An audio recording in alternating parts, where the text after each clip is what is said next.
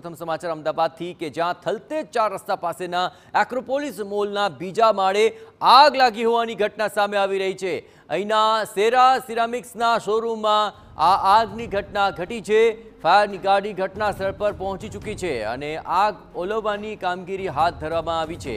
કુલિંગની પ્રક્રિયા શરૂ કરી દેવાઈ છે અને ફાયરની ટીમો ઘટના સ્થળ પર ભારે જહેમત ઉઠાવી રહી છે. જો કે પ્રાથમિક તબક્કે શોર્ટ સર્કિટને કારણે આ આગ લાગી હોવાનું અનુમાન છે.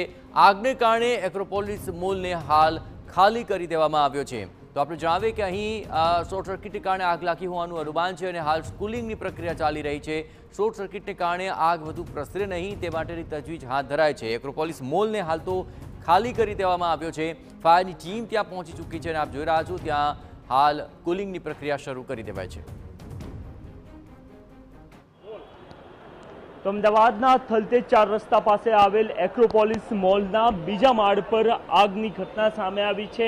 આપ જોઈ રહ્યા છો કે આગ પર કાબુ મેળવવાની કામગીરી હાલ ફાયર વિભાગની ટીમ દ્વારા ચાલી રહી છે. મહત્વનું છે કે ઓફિસ સમય શરૂ થાય એ પહેલાં જ આગ લાગવાને કારણે જ્યારે ઘટના બની ત્યારે અહીંયા કોઈ ઉપસ્થિત ન હતું. પરંતુ જે ઘટના બની છે એને લઈને તુરંત જ જે છે એ ફાયર વિભાગની ટીમ અહીંયા પહોંચી ચૂકી હતી અને એમના દ્વારા આગ પર કાબુ મેળવી લેવામાં આવ્યો છે. પરંતુ હાલ કુલિંગની કામગીરી ચાલી રહી છે.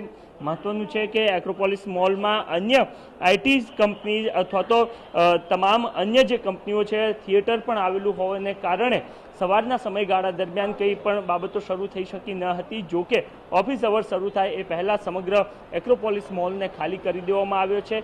અને એના જ કારણે આપ જોઈ રહ્યા છો કે મોલના જે નીચેનો ભાગ છે, ત્યાં લોકોનો જમાવડો આપને જોવા મળી રહ્યો છે. ઓફિસ અવર્સ શરૂ થાય એ પહેલાં આ તમામ લોકો ઓફિસ માટે અહીંયા પહોંચ્યા હતા અને આગ લાગવાને કારણે હજુ સુધી ઓફિસ શરૂ કરી શકાઈ નથી.